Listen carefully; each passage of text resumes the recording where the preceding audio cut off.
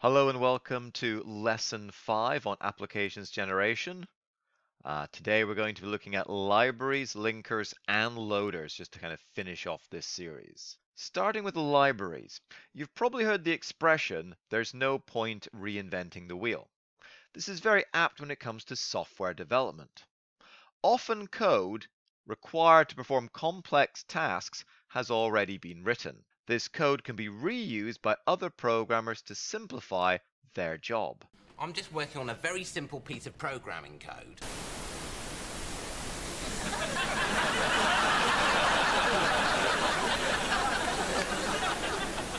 I see.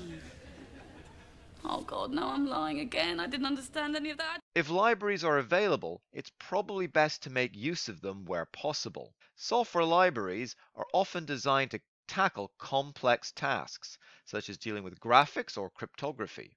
These require a certain amount of expertise and may be time consuming to program from the beginning. Therefore, if you make use of the library file, you get high quality piece of software that you know works and you don't have to program it yourself.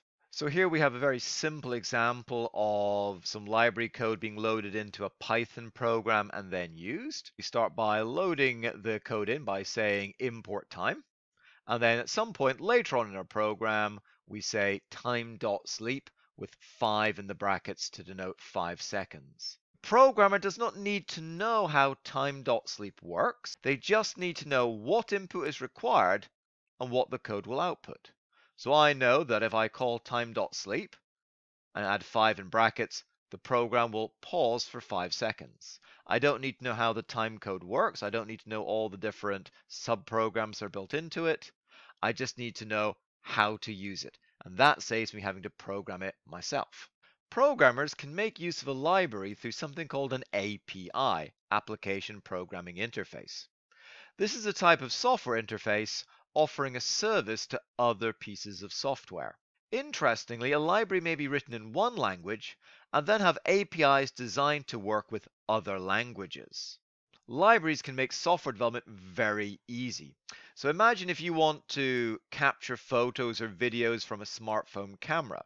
You don't actually have to write your own camera interface to go with your application. You can just use the camera API to embed the one built into the phone in the app that you're developing.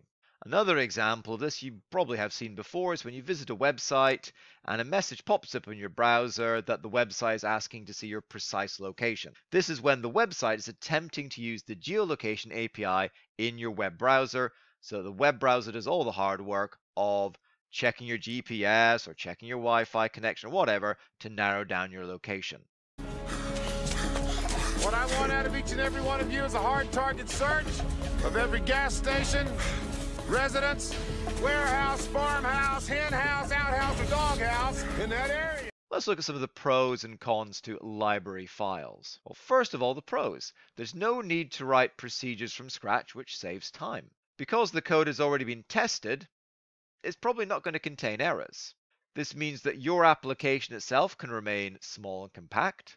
It allows code to be shared with other applications to make use of the same code.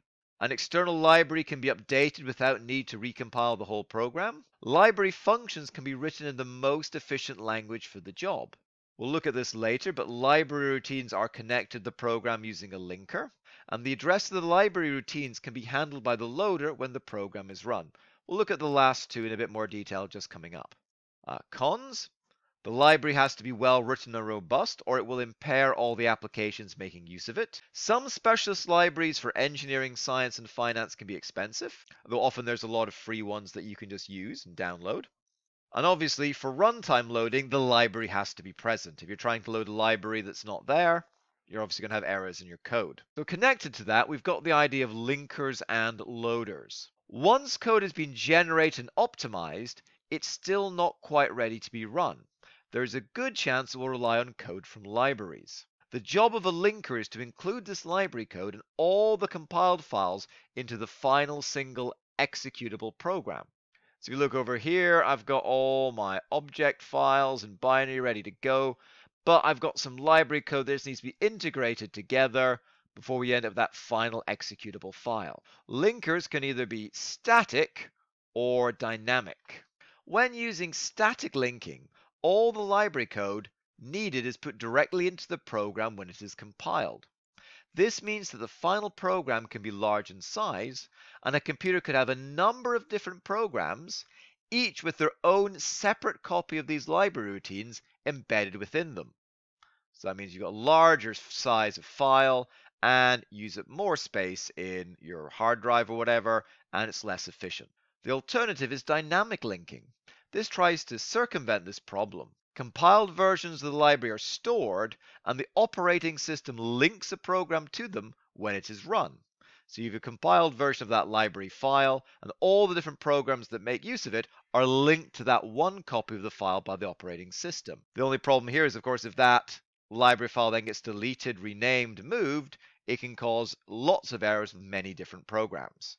After an executable file has been created, it then has to be loaded into main memory when it's run. The part of the operating system responsible for doing this is called the loader. So That's quite simple. The loader loads programs into RAM. So that was quite a short one. Don't need to go into that in too much detail. Today we looked at libraries, linkers, and loaders. Libraries contain existing code that developers may wish to reuse. Linkers are used to incorporate library code into a final program, and the loader is the part of the operating system responsible for loading an executable file into memory. I think that's everything in this unit, so hopefully the whole, the whole set of lessons there was useful to you. Good luck with your studies, and I will see you again in the future.